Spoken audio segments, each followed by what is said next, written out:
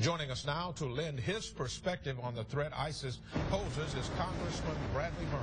Thank you for joining us tonight, uh, Congressman. Now let's go ahead and get right to it. You've gone on record supporting an amendment to arm and train Syrian rebels. What makes you think this might work this time around? Well, you can't look at any one of these things in isolation. Arming and training the rebels is one part of it. These missile and other strikes are another part of it.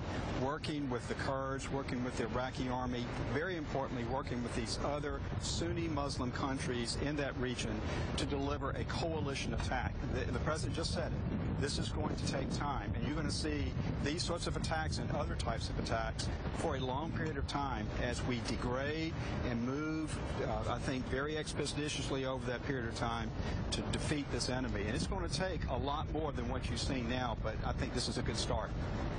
Uh, Congressman, uh, at what point is, in this conflict would you support the option of using and putting boots on the ground from the U.S.?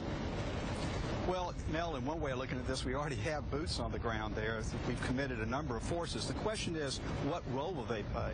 I think we need to make sure that we're not playing some major combat role. That is, boots on the ground are actually engaged in direct combat, unless they're there as a sort of a, a, a function of helping other boots on the ground from Muslim forces in that region. So I think you're going to see some more boots on the ground that'll be doing things kind of like that from the U.S., but I don't think you're going to see a major commitment of America combat forces, and I don't think that's what's necessary here. I think we need to have regional forces in there to take care of this job.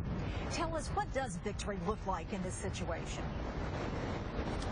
Well, it's hard to say right now because this is going to develop over a very long period of time. It would be my guess that what's going to happen is, is they're going to have more and more people come into this conflict on our side. And as that happens, what we hope to do is to squeeze this group in its geographic control from the east and from the west and squeeze them into a, a more manageable area. Right now, they control the entire landmass between Damascus and Baghdad. 20 million Sunni Muslims without a state who look at ISIL and say, well, that looks pretty good. So this is going to take some time to do it, but I think we're actually headed in the right direction, and it looks like we're having a lot of international help to do it, and that's a good thing. Thank you. And finally, Congressman, you're joining us tonight from the Alabama Cruise Terminal, where the Alabama Department of Transportation is hosting a public input meeting regarding a bridge over the Mobile River. You've supported this project from the beginning. Everyone wants to know where's the money coming from? How likely is a toll bridge? Well, I don't know. The decision about whether or not it's going to be a toll bridge is that's up to the governor. That's not my decision. 80% uh, of the cost of this project will be from the federal government. It'll be from the federal highway program. That's my job is to make sure we keep that moving. The state's going to have to come up with 20%. And I think what the governor is considering is coming up with a toll in order to pay the state's 20%. But we're a long way down the road from making final decisions about that. I talked with the Secretary of Transportation last week. He's coming down here to look at the project, talk some more with us about it. And it's going to take us some time to work through this, but I'm confident we'll come with a plan that will get this bridge built as quickly as we possibly can.